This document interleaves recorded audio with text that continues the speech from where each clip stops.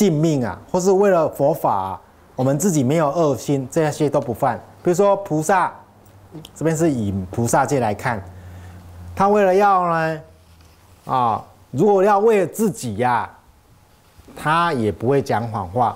可是为了要利益众生，救脱对方有情之故啊，我们要利益众生。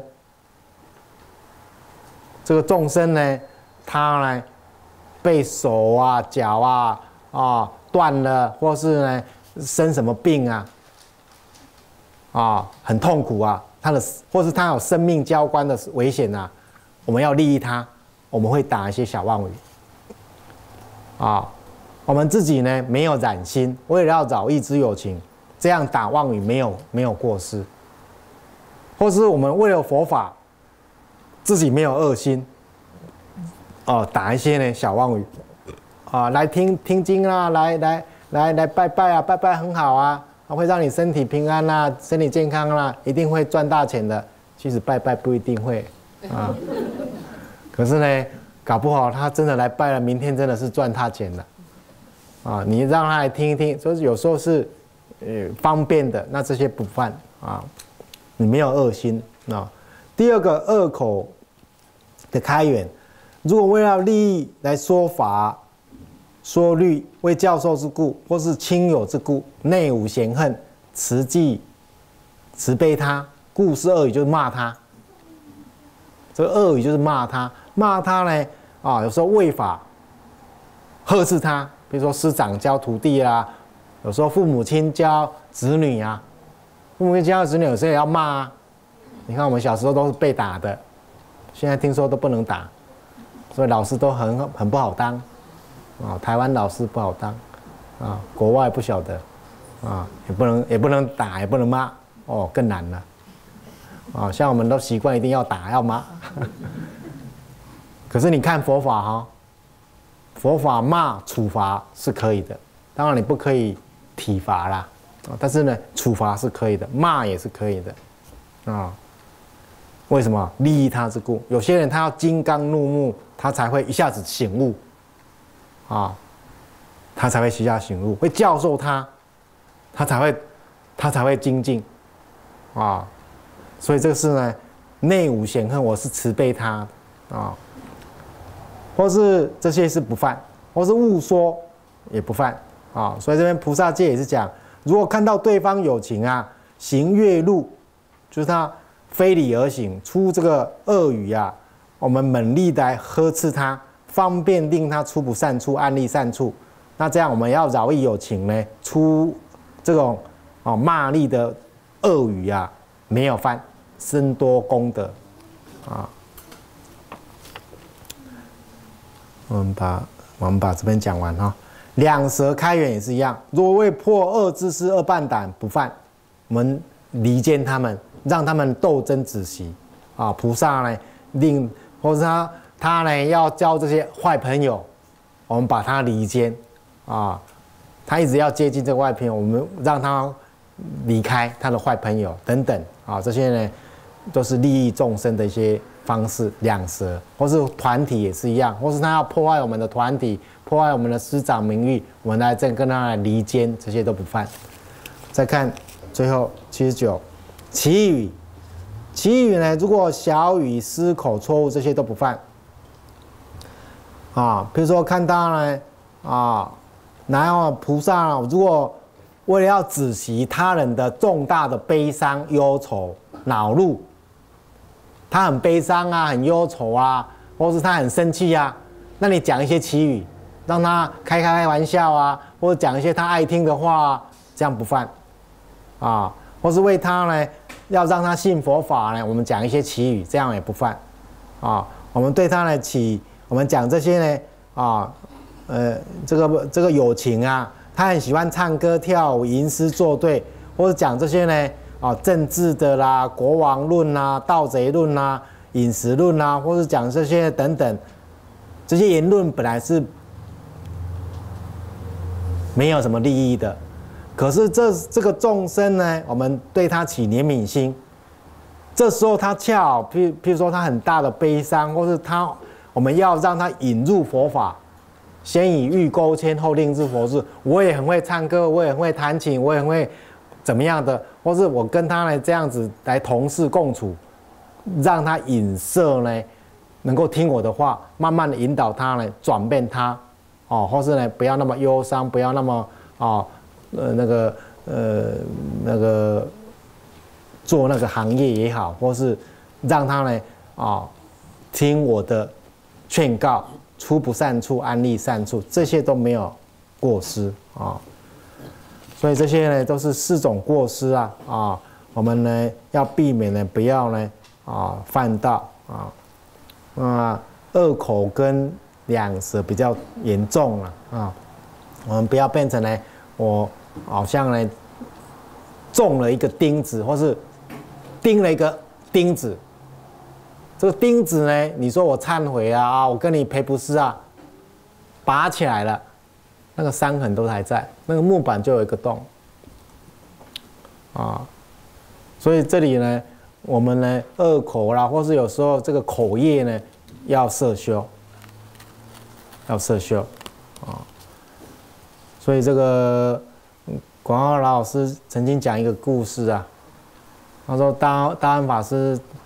跟他讲啊，在民国十七年的时候呢，啊，湖南南山月祝圣寺呢，那个老和尚呢也是讲五戒呢，很多利益啊，大家听得很欢喜，也想要受戒。有一个小偷啊，听到了他要受五戒，那么大的利益，很好啊，他就想杀盗淫妄酒，我爱喝酒，不能够不能。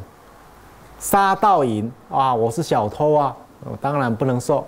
只有妄语呢，还勉强可以受，他就来报名受一条戒，妄语戒一条可以呀。那天呢，就很高兴回去了，啊，老和尚说要发心受持啊，啊，不要犯啦，啊，好，回去了。恰好那一天呢，有这个兵营啊，运了来一大堆响银啊，结果一大堆响银，那个团长带了十二个兵啊，在这个村庄过夜。他的小偷同伴知道了，就来邀他。哎，今天有一票呢，很好干的，我们去那偷，那么多银两啊！好，他就答应了。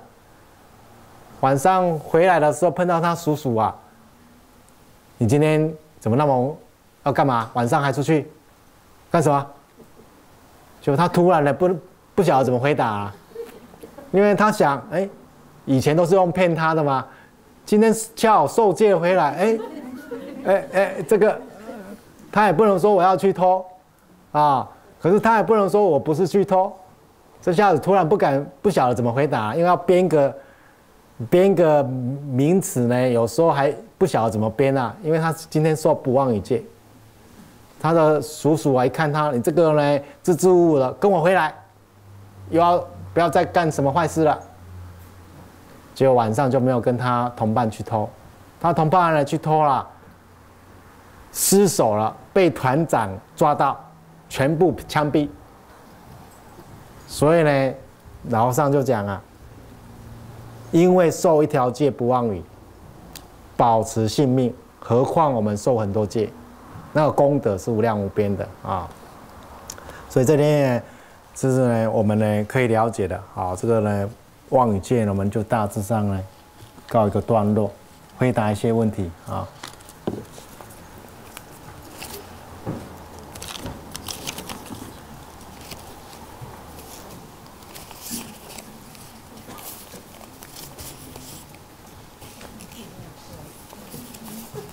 好。慢慢答没关系。好，没关系哈。好，请问呢？在梦中会经历到许多事情，这也是业报吗？这不是啊，啊，这个业报是，我们这个业报是无记性的。比如说，我现在是男众，你是女众，所以业报是无记性的。你现在梦中经历什么？这是第六意识在动嘛？善恶啊，无记都有，所思所想啊，啊。那这个呢？你要知道，说梦中有时候是，你说啊，是不是前世的还是怎么样？你先不要想这些了。你你讲业报，可能就是啊，是不是过去的术士的这样子啊。你先不要想这些啊，因为大部分都是我们今生的。你你慢慢靠修行，当然他会把术士的种子会再引申出来，没有错。可是你很难分别的时候，你都要把它约我们现世可以呢去判断的，来对治它，来转移它，来提升它，来净化它，这样就可以了。请问我们 copy 几页？如果是从图书馆借来的书，那这样也算呢偷盗吗？copy 几页？如果在这个书籍的啊，可能是呃学生也好啦，或者说我们一般的人呢啊，你 copy 几页，他应该会有规定。我以前也看过这些法令啊。你如果为了要学术研究，为了要自己读的，或是要怎么样，这些应该不犯的啊。我们要研究要怎么样，你呢？这些应该是不犯的啊。你不是目的，有些呢啊，在智慧财产权的方面呢，当然啦，在世间法上呢，都是说这是我私人的财产。其实我都会这样子想，释迦牟尼佛的财产呢，佛经啊，它都没有版权啊。我们呢，世间人的凡夫的智慧都不如他了，我们都说我有我版权，就是很奇怪的事情啊？世间人的智慧呢，常常在那边变来变去啊，而且烦烦恼恼，结果我们都说这是我的智慧财产权。你可以用这个来得到呢很大的财富，所以财富其实你也是吃三餐。当然，我这是另外一个话题的，所以它是因为是约定所成的一个法令，它有时候会改变，这个国家也是会把它改变。但像现在我们持这个戒，我们还是尽量不要去侵损它，受它机险太太大。所以，我们呢，copy 机我我纯粹是要研究的，或是怎么样，这些是我没有真的要侵损他的权益啊。如果法令改变，或是人家说不可以，好，那我就呢，不要啊。再看，请问报所得税如果不如实，超过五五千，会犯什么罪？报税没有守护主是什么意思？报税没有守护主，我们讲海关盗界啊，海关就是它是守护主，守护主是我把守在这里，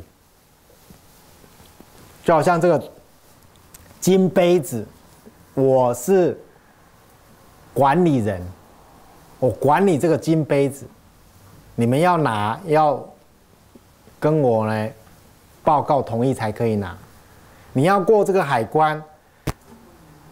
要让我检查你才可以过。我如果没有检查你，你要诚实报告。你有没有？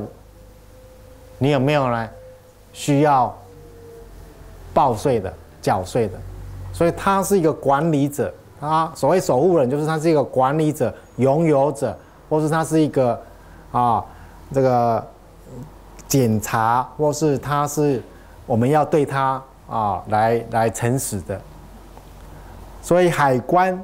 这个守护主呢，我们讲律上呢都会讲海关呢，啊，但是在在家菩萨界里面有谈到不输关税呢，他犯轻购罪。那这里有比较有复杂的有不确定性，就是如果你说那我没有诚实缴关税，没有没有没有诚实缴所得税，我缴所得税我少报一点。不管是做生意也好，或是呢市农工商，我们当然希望我们缴少一点。你可以合法的节税避税，这个不犯戒的。我合法的开好几家公司节税，这不犯戒的啊。那你报税如果不不诚实，超过五千呢，会不会犯重戒啊？这个呢，在家菩萨戒说你不如实报税啊，犯轻购罪。看起来是先犯轻构罪，啊，因为他不是一个呢，像海关的管理者啊，但是呢，在这个有些呢，有些法师也讲，那是不是超过五险要结重罪呢？这个就是呢，没有很没有很一致的说法啊，所以这里讲呢，就是。我们还是要如实的去报税了啊，如实的去报税，不要被积险。如果没有的话，你就会违反法令。所以在违反法令这一部分来看，你就会被罚钱，罚钱你就缴钱嘛，缴多多一点而已，啊，是这样子。再请问。台湾的佛学院允许在家居士去学习吗？符合什么条件可以去学习呢？有些都可以啊，啊，有些佛学院都可以允许居士去学习的啊。那你就看哪个佛学院去请问他就可以了。第二，听说别人要出家的时候会现出家相，不大明白。有出家意愿的居士要到什么样的状？况呢？应该出家呢？什么时候会出现出家相？啊，出家相就把头发剃起来。嗯，其实啊，我们修学佛法，你讲的意思啊，啊，慢慢呢，你自己如果。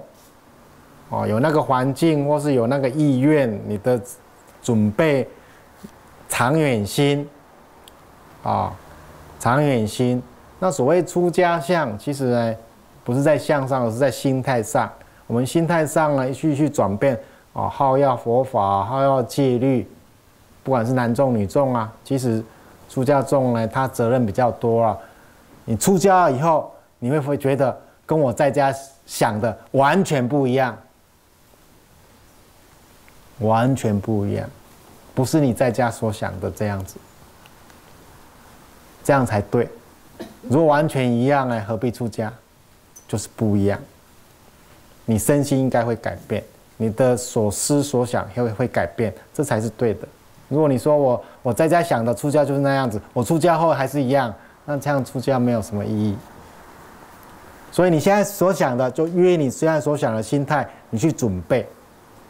去准备，啊，那这些呢，可以请教呢，或是呢，啊啊这些呢，呃，在座的师师长啊、法师啊，啊，这些我们要到什么样的状态？其实就是我们慢慢把我们呢那种修行的意愿呢去调整啊，然后呢，愿意呢追求断烦恼、解脱生死。自利利他，这个目标是我终身的希望，我愿意去承担，这个是长远心才有办法呢，继续做下去啊。再请问，世间法当中有些场所啊，说真话，一很容易变成是非，那这样可以直说吗？刚才有讲到啊。你如果要利益众生的时候，你直说会变成是非，会变成呢误会，你就不可以一下子直说，你要先委婉啊，委婉，或是有是非，或是会伤害到他，你就要委婉转折。有时候先讲委婉的，你要留后路，你不要一下子说讲的很假，你要假中带真。真中带假，这有点难哈。对，这边就是有点难。这戒律上还谈到，有一天呢，这个这个猎人啊，捕鹿、追鹿、追兔子、追鹿啊，追过来了，鹿受伤了，跑过去了。比丘呢，看到了，鹿跑过去到那边了，猎人呢跑过来问比丘。看到了没有？那个鹿啊，我们呢追的那个那一头鹿有没有看到？比丘呢？如果讲有看到，说他跑过去了，这猎人就往那个方向就会杀生，他犯戒。如果呢，比丘来说没有看到，比丘呢就放妄语戒，想妄语。请问这时候比丘要怎么办？比丘就要这样子讲。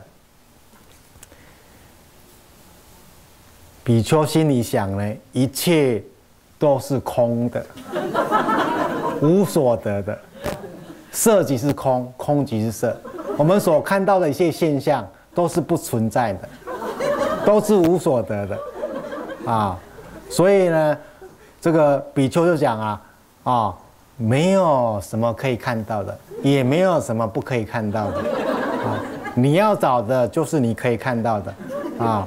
我你不能找了，就是不能看到的，啊，这下子猎人就被他说的一愣一愣的，啊，或是呢，你就看到呢，嗯，你所看到的那个只鹿的脚印就是有，他就跑过去了。你如果没有看到脚印，他就是没有往那个方向去走。这猎人也是一愣的，我就是要问你有没有看到，你有看到脚印？那那个就是他的方向。你如果没有看到脚印，那就不是他跑的方向。所以你要真中带假，假中带真。所以他心里所想的，这个时候他维护鹿的生命，他也没有打妄语。我讲的就是真的啊！我讲的一切的境界都是虚幻的啊。我讲的，我心里想的，我入到佛的理性上的时候，我讲的话是真的。所以你要找的那只路其实是没有的，对不对？我有没有骗他？我没有，我现在是在讲理性上因缘所生法，对不对？都是空的。你要找的那只路是没有的。这时候呢，比丘他没有犯戒。他讲的是诚实语，所以真中带假，假中带真，这个是呢。所以为什么我们要一直熏习？一直熏习的时候，你讲的话呢，就慢慢有智慧了。你也可以利益人家，也可以保护自己。所以这里就说，你一定要受戒，你才有办法学嘛。你一定要慢慢去学，才学习佛法，你才要进入，你才有办法学呀。啊，好，再请问。如果供养佛像啊，有金像身、陶瓷像身，金身比较小尊，陶瓷比较大身，那供养的正位怎么安排？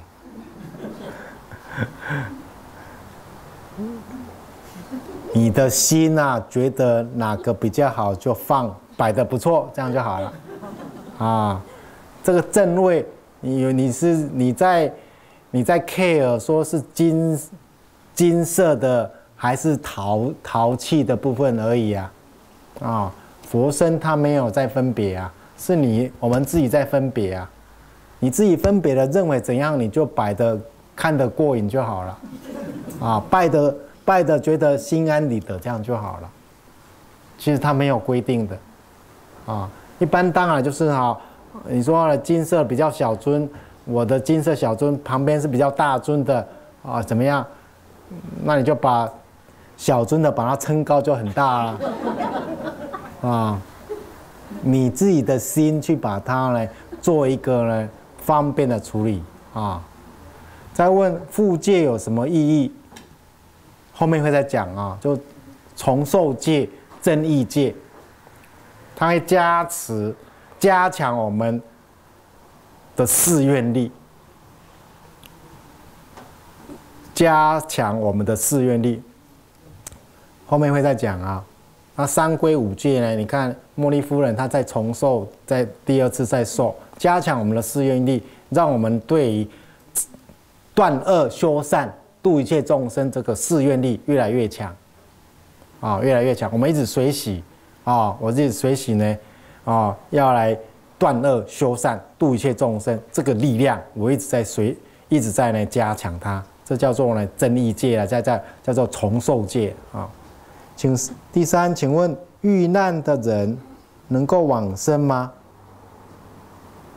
也能够啊，啊，这个一棵树，有一天呢，比丘就问佛：如果我们这一生没有办法证到果位，没有办法做主，不晓得生命一下子突然明天就无常了，怎么办呢？突然明天就无常了，我突然呢啊意外了，生病了，死死亡了。师尊说啊，这棵树如果它都砍向西方，它就会倒向西方。我们。人也是一样，如果我们再生呢，都是一直在修学佛法，向着戒定慧修学经论、修学圣道、念佛，要求生西方。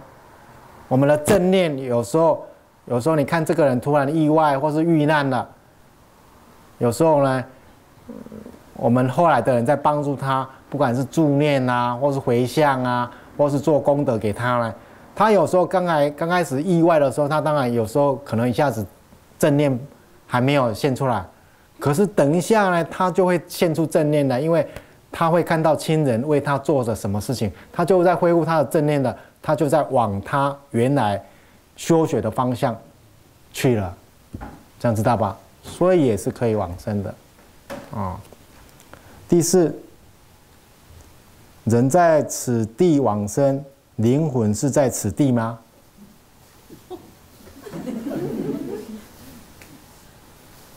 灵魂在此地吗？不会啊。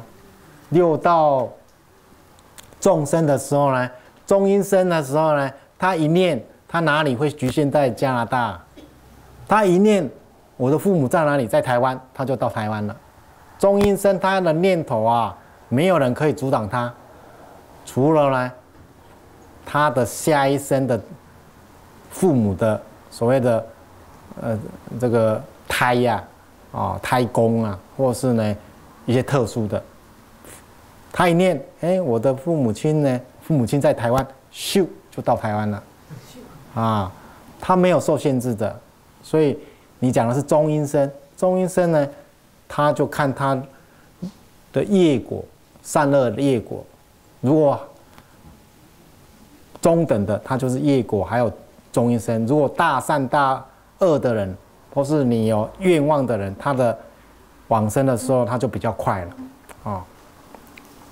如果你都停留在这边，就不大好。你不可以停留在这边的，不可以变成中阴身，一直停留在这边呐，那你不是守尸鬼了吗？知道吧？所以我们中国人讲人死为鬼。这观念不对的，那不得了！我的父母、我的祖先都还在当鬼，在佛法来看是不合理的啊。那你，那你对祖先都没有信心呢？我们的祖先、我们父母应该是往生善道了，在升天了，不是在这，不是在那个坟墓里面了啊，那就很凄惨了啊。所以一定不是在此地的啊，此地会这么好吗？会比天上好吗？北极的世界好吗？华华，如果我只想说两小戒，我没有想说大的戒，是我不小心说了什么零售算不算我受了？等下呢？再请妈妈跟你讲。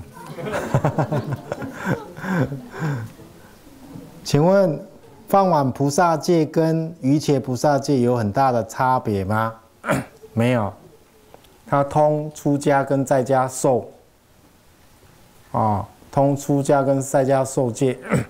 瑜伽菩萨戒他讲的开遮吃饭的戒相比较详细。那放碗菩萨戒呢？